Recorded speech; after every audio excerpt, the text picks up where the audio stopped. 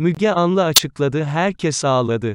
Kilis'te enkaz altında kimse kalmadı Kahramanmaraş merkezli depremden etkilenen ve 22 vatandaşın vefat ettiği Kilis'te enkaz altındaki depremzedeler çıkarıldı.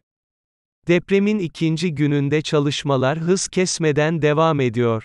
Türkiye, Kahramanmaraş merkezli iki şiddetli depremle sarsıldı. 10 ili etkileyen afet, büyük yıkımlara ve göçüklere neden oldu.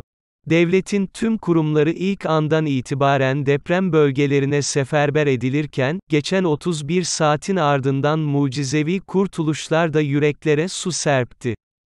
Türkiye'nin kalbinin attığı deprem bölgelerinden enkazdaki kareler yürekleri dağlarken, gelen bir haber ise sevindirdi, enkaz altında kimse kalmadı, Ticaret Bakanı Mehmet Muş, afetten etkilenen Kilis'te son durumu aktardı.